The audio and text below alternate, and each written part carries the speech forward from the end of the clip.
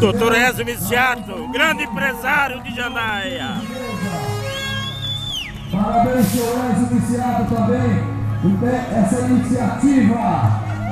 Em frente a uma das suas empresas, Posto Vesa, Doutor Ezio Sul. Esse privilégio que está aqui em Jandaia, em frente ao posto Piranga.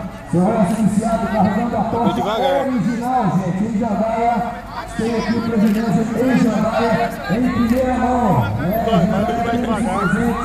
Está aqui juntamente com a Defesa Civil, também a Polícia Militar. Luiz Henrique Diani e seu iniciativa do amigo Antônio Henrique Dianin.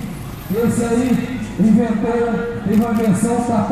Grande empresário de Jandar do Sul, Doutor Ezio Miciato, do grupo Miciato, Sociedade Anônima. Está expandindo para o mundo. Está em Jandar do Sul. Ele inventou o Antônio Henrique Dianin. Quem não conhece, ele é filho ali da, da Craiola. Está aí com irmãos do seu Ezio Viciato, dono da Jamel. Nosso muito obrigado, seu Ezio, participando. Olha aí que privilégio que temos aqui em frente ao Hospital Nossa Senhora de Fátima. Obrigado, pessoal da saúde.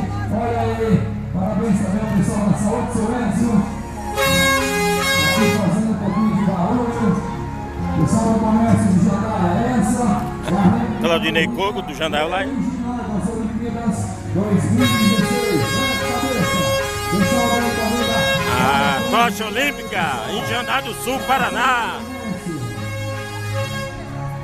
Nesta tarde.